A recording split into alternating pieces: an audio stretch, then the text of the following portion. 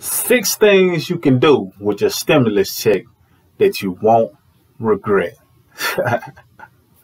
What up? You got Mr. Smith, point five of Mr. and Mrs. Smith. And in this brief video, I want to talk about six things that you can do with your stimulus stimulus check that you will not regret. And the reason why I picked six is because the number that's being tossed around currently is $600. So a lot of times what happens is when people get a lump sum of money, whether big or small, typically it goes to a place that they don't remember. Like if you ask what all they did, they can say, I did this, and I did this. But if you give it direction and you give it exactly where it needs to go, then I think it'll benefit you. So I want to give you six in the event that you decide, you know what, I'm gonna take that 600 if that's the number you get, you know, if they hand it out anyway, or if they if you don't receive one and you want to apply to any amount of money or the 600 next $600 that you receive, feel free to do so. But with that $600, if that's what you end up getting, now you give six different opportunities to put your money in a place that you will not regret. So it's like spreading out the money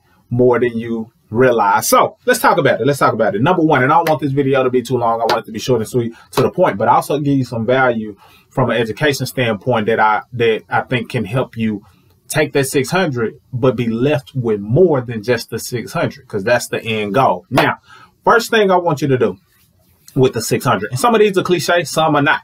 Number one is save.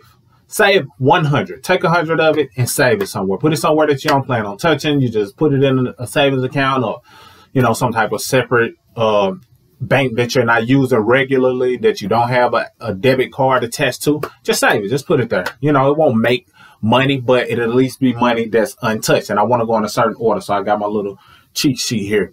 The second thing that I want you to do is invest. So saving and investing are two different things. When you're saving money, you're just putting it in a location that you don't plan on touching. You're not expecting it to get a rate of return or grow or anything of that nature. You're just saving it, just stashing it. It's almost like putting it under your mattress or putting it in a, you know, um, somewhere at home that you don't want to touch it. But if most most money is digital now, so put it in an account that you don't plan on touching it. So that's saving. Investing, however, you have the idea or you plan to get a rate of return. Now, I will say this about investing. Investing can be risky, but it can also be profitable.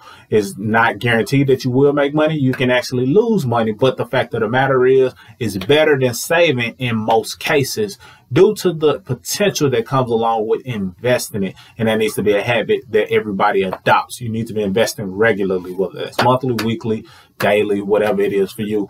Now, you want to invest. Now, what I'm going to do is link down below so you can get access to a platform where you can invest $100. But when you open up that $100 investment account, you also get two free stocks. And depending on when you're watching this video, like if you're watching now, you actually get access to four to six stocks just by starting your investment account with $100. So that's just a, um, something for you to consider. But now you're taking $100 and you're investing it. Plus, you're getting some free money in the form of stocks. Keep in mind, those stocks can be sold and converting into money. So it's literally like free money when you get access to those two to six stocks. But when you open it up with $100, now you're able to take the $100 and invest it in something that can produce some type of rate of return. Invest in what you wish. I personally recommend something that spreads out your money, like an index fund, something that allows your money to be diversified, like an ETF, which is an exchange traded fund that has its benefit, like a REIT, R-E-I-T. I won't get into details on what those are. That's not what this video is. But put it in a place that it can diversify all in one investment. So that way you're not like, okay, I only have a hundred dollars. Where do I put it to get the maximum result? If you spread it out in a fund that allows you to buy it, buy less than a, use a hundred dollars to buy into it, then it can be beneficial that way. But click that link so you can get access to the free stocks and invest a hundred dollars of it. That's there. Number three. So that's number two. We got save, we got invest. Number three is give.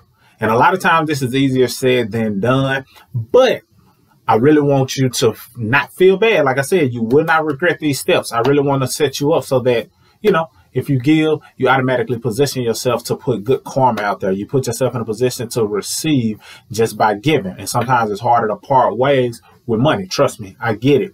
By with parting ways, but by parting ways with money, it opens up and unlocks some of the abundance that's out there for you. Just because the universe understands, okay, this person is going to be a good steward with my tool, because that's all money is, is a tool. This person, person is going to be a good steward with my tool. I'm gonna give them even more, and that's just how it works. It's been time where I give, and I'm like, boom, got an extra deposit, got something unexpected, whatever the case may be. And it might not have been exactly because of that, but you know, it's a direct correlation. So give to whether that's a nonprofit that you respect, that you love, that you know you love what they're doing, and you just want to contribute that hundred dollars.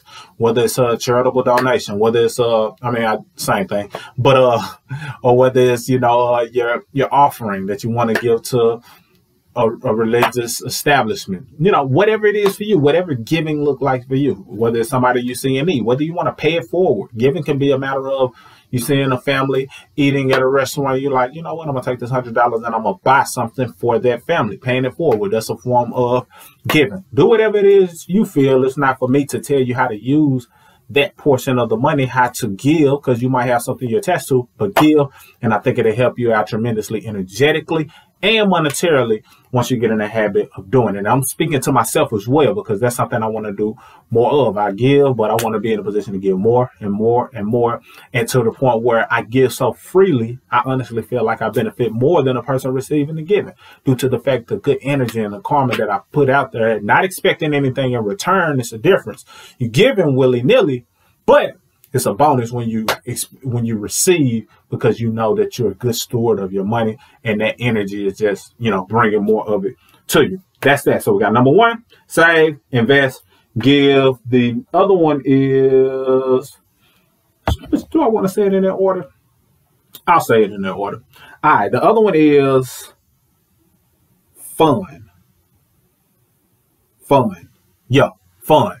So do something fun with the money. So take a hundred dollars and do something fun with that money. Whether that's you get some fun out of just rewarding yourself or treating yourself to to to something that may cost under a hundred, or whether you do something to reward yourself, but or you also buy something with it that may make you happy or make someone else happy. Buy yourself your kids something or give your kids an experience with that hundred dollars. And I know it's not a lot that you can do with a hundred dollars, so don't get me wrong, but do something that puts a smile on your face by having fun with it or just rewarding yourself some way, shape, form, fashion. Do something like that with it. Next up, I want you to buy something for someone else. Now, fun is for you. So I take that back. I know I kind of merged those two, but fun is for you, specifically for you. Specifically for you. Something that you feel, you know, like, hey, I can, I can buy this for myself because it, it's just a good feeling with saying, you know what, let me put myself first for a second. So fun is for you. Do something fun or something that is directly for you. That's the other one. The next one is buy something for someone else.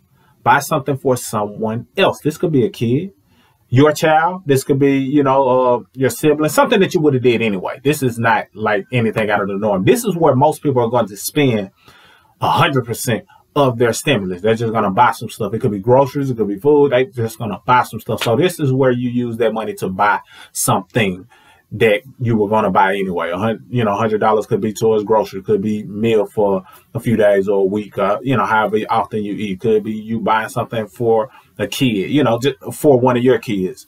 This ain't the giving area, so this could be you buying something for one of your kids. Whatever it is, buy like most people will do. Understand, this is where most people will spend 100% of that money, but not you, not if you follow these instructions. And last but not least, and this is specific to this category. It may sound similar to one I said before, but I say this one for last for a reason because this is one that I feel can give you a bigger return or the largest return on your money.